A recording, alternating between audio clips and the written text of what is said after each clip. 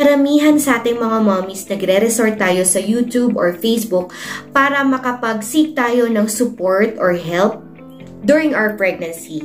Pero alam nyo ba mommies na the more that you are able to convince your husband to be part of your pregnancy, the more na nalolower mo yung risk mo para magkaroon ng cesarean section or yung tinatawag nilang CS.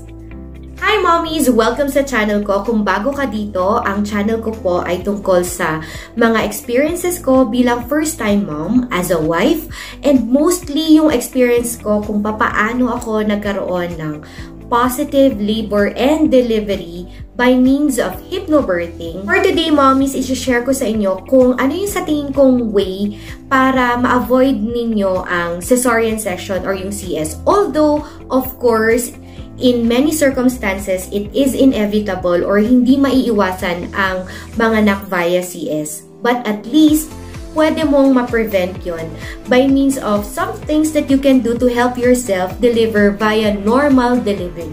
Alam nyo ba na there is a study which shows na yung mga mommies na nag-hire ng birthing doula can reduce their risk to having CS for 25%.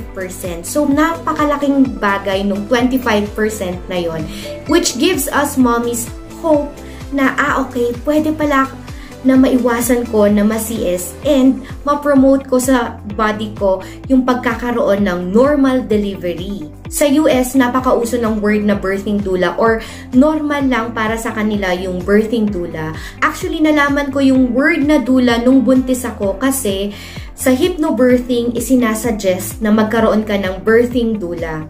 And with my advocacy na mabigyan yung mga mothers ng awareness na pwede sila magkaroon ng positive labor and delivery by means of hypnobirthing, na-realize ko dito sa Pilipinas, halos hindi natin alam yung word na dula or at least wala tayong uh, masasabing pwede nating i-hire as dula dahil nga hindi uso sa atin yon. But anyway, I'm sure at least sa ngayon, hindi pa siya ganon ka kilala dito sa Pilipinas. And that's where I came up with an alternative. Which is, yun nga sinasabi ko sa inyo mommies, that you have to convince your husband to be part of your pregnancy. I mean, to be involved as much as he can with your pregnancy dahil sila yung best na person na pwede nyong maging alternative as your doula, birthing doula. And ang tanong, ano ba ang birthing doula? Ang doula ay non-medical related person na tumutulong sa isang mommy na ma-achieve niya yung ultimate support or comfort na ma marireceive niya during her pregnancy up until her labor and delivery. Ito yung tao na hinahire para maging support system ng isang buntis during her pregnancy up until manganak siya. Actually, ang support na ibinibigay ng dula ay emotional support. Meaning to say, hindi sila doctor or nurse or anything related to medicine. They are just people who help the mother or yung pregnant woman para ma-process yung information na binibigay sa kanila ng mga doctors nila in a way na maging positibo ang pag-intindi nila ng mga bagay-bagay. For example, nag-ultrasound yung mother at yung result, it turns out, breach yung position ng baby. So, ang role ng isang dula ay para tulungan yung isang mommy to understand it calmly na ang pagiging breach ay okay lang and eventually may mga paraan din naman para maiwasan or matulungan yung baby na umikot sa tamang position. Yung breach ay yung sugi. Ganon. So, yung dula, tutulungan niya yung mommy na sa pag-exercise niya, ganon. And i-comfort niya yung mommy and she will tell the mommy or he will tell the mommy na, okay, don't worry, hindi mo kailangan mag-worry. You have to calm down because there is a way to help your child. Now, mommies, considering lahat ng mga requirements para maging isang dula, I'm sure mag-a-agree kayo sa akin na qualified 100% yung mga partners or yung mga husbands ninyo. Well, of course, ibang usapan na dun sa mga mommies na hindi nila kasama yung mga asawa nila katulad ko noon. Now that you are able to convince your husband or yung relative mo para maging birthing doula mo, ang tanong ngayon kung how can they help you to be able to have a normal delivery or to prevent your chances of having CS. So, ito yung mga tips ko sa inyo, mommies. Number one is learn the breathing technique together. So, there are a lot of videos on YouTube kung papaano yung breathing technique. So, in my case, ang breathing technique na ginamit ko during the time na nagli-labor ako and very useful din nung time na buntis ako was yung breathe in through your nose and slowly breathe out through your mouth. For example, ganito.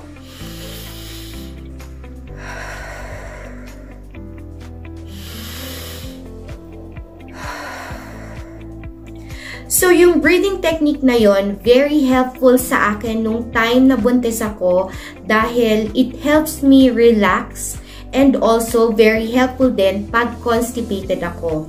Now, nung time na nagli-labor ako, very effective siya para ma-ease ko yung labor pains na tinatawag. Paano ka matutulungan ng husband mo with practicing the proper breathing technique? So, you can set a time para mag-meditate kayo together. It does not mean na yung magme-meditate kayo na parang magpakabuda kayo to meditate. Uh, this does not apply, I'm sure, lalo na sa mga tao or lalo na sa mga lalaking walang kaseryo-seryosong um, interest sa pag-meditate So, one thing that you can do or one way you can do to practice breathing technique is, for example, try nyo lang mag-set. Just for starters, try nyo lang mag-set ng 5 minutes um, during the night time. Mag light kayo ng candle, play kayo ng very good music, ganyan, relaxing music, and 5 minutes lang na magbe-breathing exercise kayo. This is very, while you are lying down maybe or sitting down together. Alam nyo, kapag na master ninyong dalawa ito, hindi lang kay mommy helpful yon, hindi lang sa pregnant woman helpful yon. Very helpful din to sa isang daddy. I'm sure dahil nakaka-relax siya, nakaka-distress siya. And of course, um, malaking tulong to sa mga daddies na syempre bilang first time dad, pressured sila sa mga responsibilities sa bahay and also at work. So, yung breathing exercise na to will be very helpful and healthy sa inyong dalawa. Next tip ko naman ay exercise together with your husband. This is very good para sa mga mag-asawa na talagang sanay na mag-gym together or mag-exercise together. But for yung mga couples na hindi naman talaga sanay mag-exercise, the best thing that you guys can do is to go for long walks together. It is also very helpful. It is also very good kapag habang you guys are going for a walk, eh, nagkakaroon kayo ng mga short conversations about life, ganon, kung ano yung mga plans niyo together, and also kung ano yung mga nararamdaman ni mommy about sa pregnancy niya. And this is also a very good opportunity para makapagkwentuhan din kayo ni husband kung anong nangyayari sa kanya sa work, as well as kung meron ba siyang mga nagwa-wonder na questions niya kay mommy tungkol sa pregnancy niya.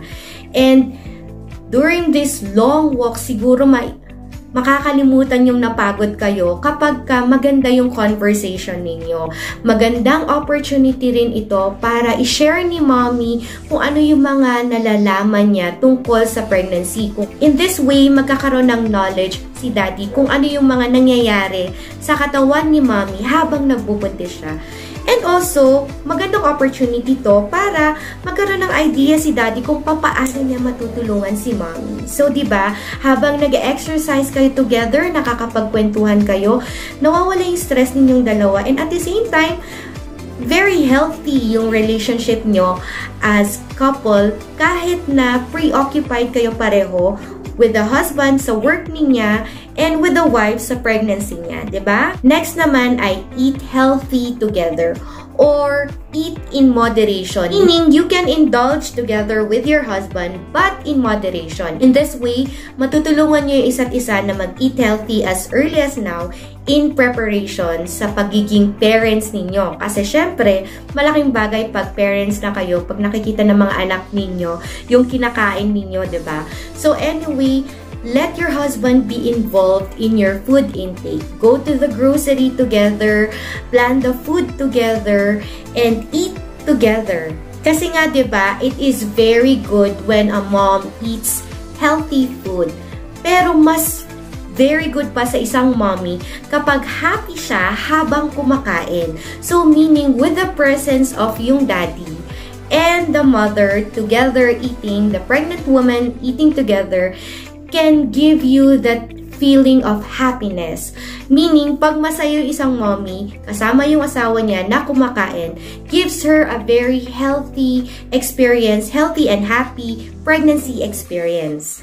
Next tip ko naman is during labor, let your husband be around you um, habang nag-deep breathing ka to ease yung labor contractions or labor pains na tinatawag, malaking bagay yung nakayakap ka sa asawa mo or nirarab ka niya sa likod dahil sabi nga nila yung hugging o kaya yung touching helps the mother produce oxytocin which is very essential sa panganganak niya.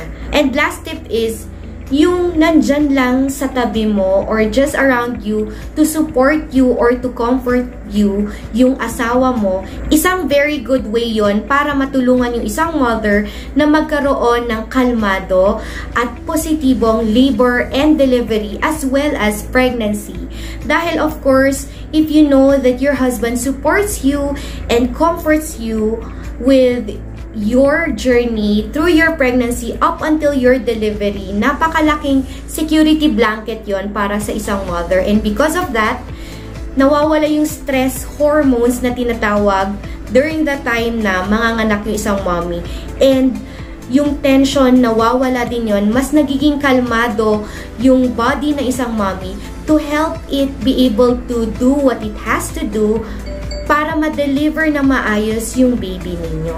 So anyway, mommies, I hope makonvince niyo yung mga asawa niyo to be part of your pregnancy and your delivery dahil malaking bagay yon para makatulong sa inyo to be able to have a normal delivery. Kumbaga, teamwork ng isang couple yon and it let it be part of your couple goals. Always remember it is possible na magkaroon kayo ng positive labor and delivery.